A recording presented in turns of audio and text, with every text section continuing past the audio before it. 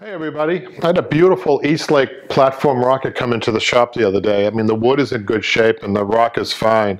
The upholstery I can't say is a great job, uh, not to pick on whoever did it last time, but they it looks like they just didn't have the information they needed. The surface looks okay, but underneath is a disaster to be honest with you. And, and again, not to pick on the person that did it, I just think it looks like they didn't have the information. That's why I'm doing this video on YouTube and also to let you know know that we just finished an Eastlake um, chair. Uh, Michelle did it on our website, uh, and we give you a full. Uh, we go through the whole process, um, and there's a lot of hand stitching that has to happen underneath on edge rolls. Just want to show you. There are three different edge rolls that you can use on an Eastlake. There's they're all different sizes, and um, on the on the video you'll see that um, we also designed it as we would like, except for the seat as, is the original, like we tried to duplicate the original Eastlake intentions of a seat. So on Eastlake, it's really unique uh, in the way they do it.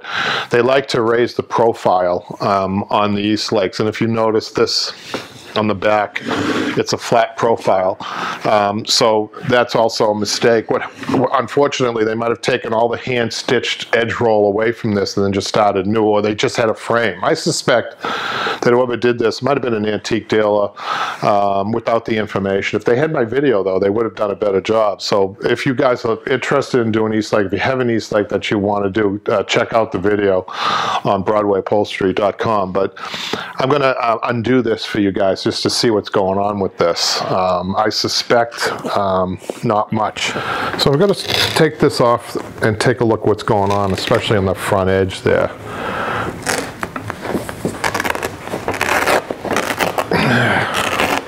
So I could tell, I could tell you right now, they had a great pneumatic staple gun because this is really hard to take out. So they, they did have the equipment, okay?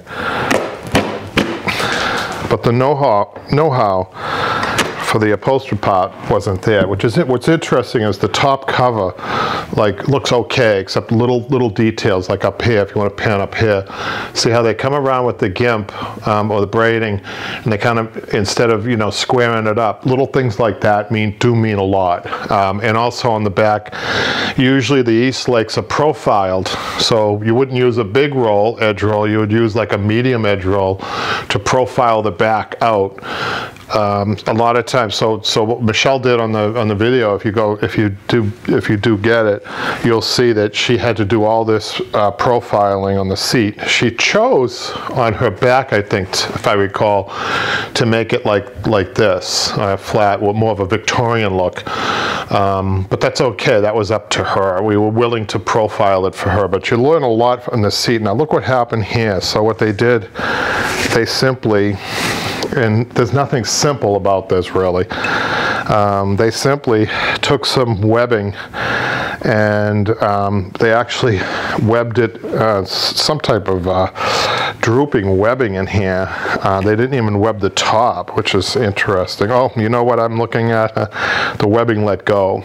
Um, and then they put a piece of foam um, all over to, to, it really just doesn't work that way. It, there's a lot of hard work to this. Um, they needed to really, the webbing needed to probably be done better, probably with the webbing stretcher. Um, their staples, like I said, they, they had a great pneumatic staple gun, but um, like I said, the know-how wasn't there. But there was a lot of edging that goes on in this. Um, what they used to do is put the edge roll, they used to make it, it's called a cake. The whole thing together is called a cake, you know, but they used to do it off the piece, make the cake, and then put the cake on. What we're showing you on that, on Broadway Upholstery, is how to do the cake on the piece, which is a little easier to do. Um, but this needed a double edge, and what Michelle did is a double edge on her East Eastlake. So I think this is a good opportunity to show people you can do a better job out there if you, if you get the proper instructions. Um, so we're going to be doing this at the shop. Hopefully maybe we can post a picture of this when it's done just to show you the difference. So I just wanted to point something else out on the arms. I took the fabric off the arms. They had absolutely no padding on the arms at all. Can you believe that? It was all taken off. And you can see where there was a heavier padding on that one time.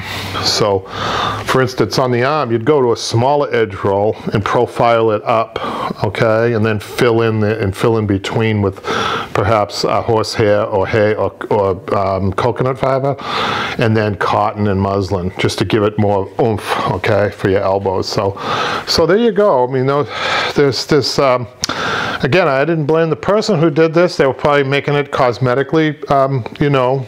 Um, they were only going for cosmetic, and I think that. Uh, what they did do is preserve the piece. It, it lasted enough time to come to me, and i am going to restore it so that the customer will benefit from a great restoration. So hopefully, you, if you have an Eastlake, don't do it like this. You have the uh, information is there. Take, take a look, BroadwayUpholsteryschool.com, Eastlake Chair. So thanks a lot. We'll see you next time.